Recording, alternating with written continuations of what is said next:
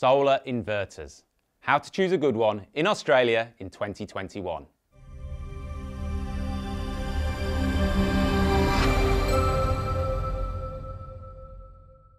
Hi, I'm Finn Peacock, a chartered electrical engineer and the founder of solarquotes.com.au.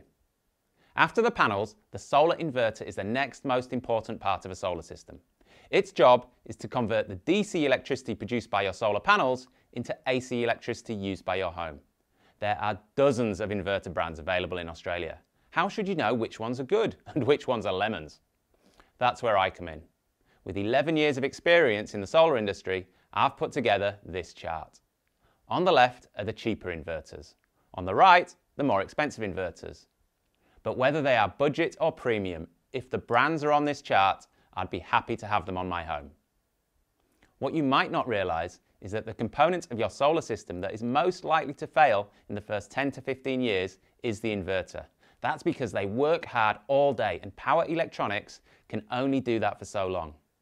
I'd expect a premium inverter brand like Fronius to last a few more years than a budget inverter brand like GoodWe because of the way they are engineered and built. So, for that reason, if you have limited funds, I'd recommend buying a premium inverter with budget panels instead of premium panels with a budget inverter. Now, let's talk about warranties. The minimum warranty offered by all the major inverter brands is five years. But there are many brands that now offer 10-year warranties as standard, such as GoodWe and Sungrow. This gives you a lot of bargaining power if your installer is trying to sell you an inverter that doesn't have a 10-year warranty. You might even be able to get them to throw in the 10-year warranty upgrade for free. Just don't tell them I told you that. If they just won't budge, you may have to pay a couple of hundred dollars more for a 10-year warranty, but it's absolutely worth it in my opinion. So insist on a 10-year warranty with your inverter. Now, let's talk about inverter technologies. Inverters come in two main varieties. String inverters, which are a big box that goes on the wall, which all the solar panels connect into, and teeny tiny micro inverters that go on the back of each solar panel. There are lots of string inverter brands that I'd be happy to have on my own home. But when it comes to microinverters, the only game in town, as far as I'm concerned, is a brand called Enphase. Now, why would you go for microinverters over a string inverter? Well, they provide several advantages. One, they optimize each panel individually. With a standard string inverter like a Fronius, if one panel gets shaded, it can cause all of the panels on that string to drop in performance, kind of like when you stand on a hose. When you use microinverters, each panel is independent of one another. So if one panel is shaded, only that panel will drop in performance and all the rest will hum along nicely. Another benefit of microinverters is that they convert the DC power produced by the panels into AC electricity at the source, at the panel. So you don't need to run high voltage DC cables through your roof. While stressing that well-installed solar is perfectly safe, whether DC or AC, this is why I chose microinverters for my own house. My house is made of straw, seriously, and I didn't want high voltage DC running through the straw. The other nice thing about microinverters is that you can monitor each individual panel's performance. To be honest, 95% of people that get a microinverter system get bored of this checking after about a week. But if you're really into your numbers, it might be worth it for you. The disadvantage of microinverters is that they are expensive. They'll add about 20-25% to the cost of your solar system compared to using a string inverter. Another option, similar to microinverters, is an optimizer-based string system. At the time of filming, the two brands that offer first-party optimization are Huawei and SolarEdge, with Tigo optimizers as an inverter-agnostic option. An optimizer-based system has the string inverter on your wall, as well as small boxes of electronics called optimizers on the back of each panel. They offer similar benefits to microinverters, despite being a different technology. Optimizer-based systems are slightly cheaper than microinverter-based ones, but generally it works out about the same, about a 20% price premium over a standard string inverter without optimization. A quick note to houses that have three-phase power.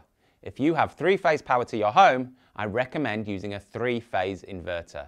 You can use a single-phase inverter, but you are more likely to have over voltage issues if you push all your solar exports down a single wire instead of three. So I'm a big fan of three-phase inverters for three-phase homes. Solar inverters and oversizing. I get emails all the time saying, I've got a quote for solar. They've offered me a 5 kilowatt inverter and 6.6 kilowatts of panels. What's going on? Am I going to blow up the inverter?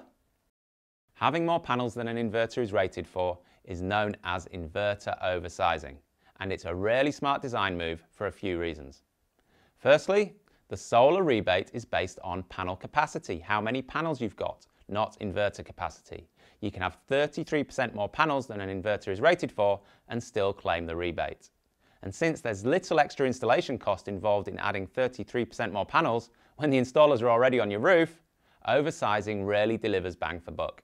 Secondly, you'll squeeze way more power annually out of an oversized 6.6 kilowatt system with a 5 kilowatt inverter compared to 5 kilowatts of panels with a 5 kilowatt inverter. Now, let's talk about solar inverters and adding batteries.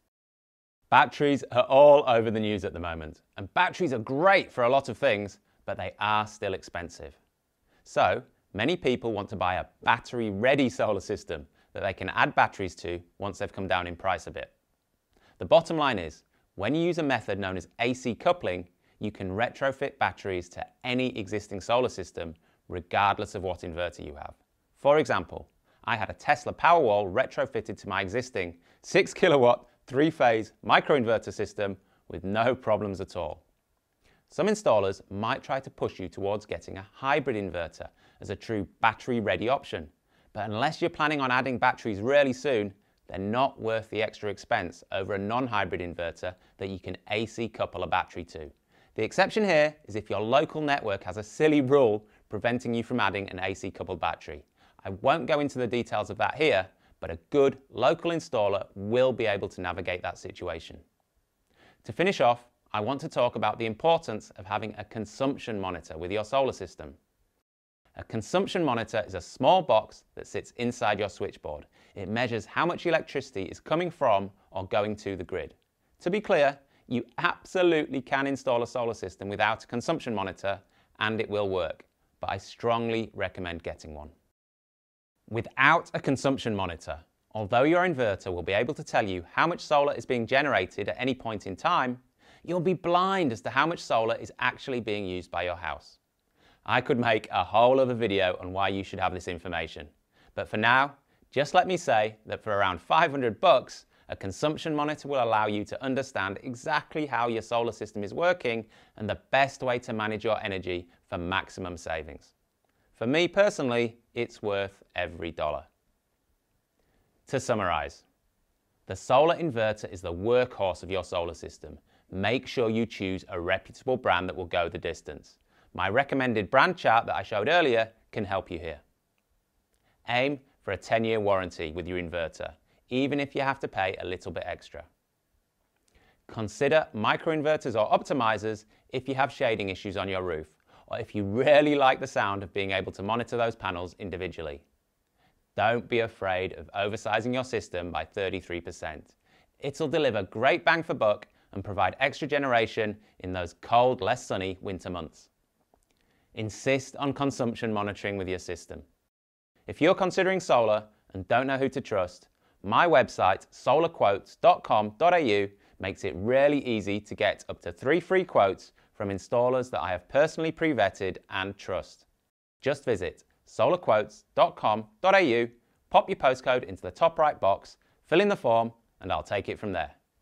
Thanks for watching.